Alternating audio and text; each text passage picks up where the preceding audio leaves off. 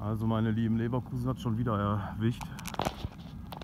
Irgendwo in Leverkusen-Börrig äh, hat es eine Explosion gegeben.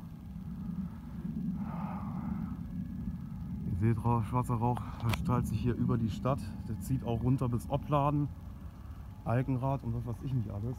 Äh, guckt euch das an hier. Das ist jetzt, wo ich gerade bin, ist in Quettingen. Man hört schon wieder Martinshorn, blaudicht. Also in Leverkusen hat es wieder eine Explosion gegeben.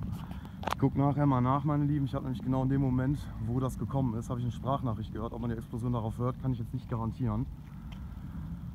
Auf jeden Fall hat es Leverkusen heute wieder getroffen. Oh, okay. Das funktioniert.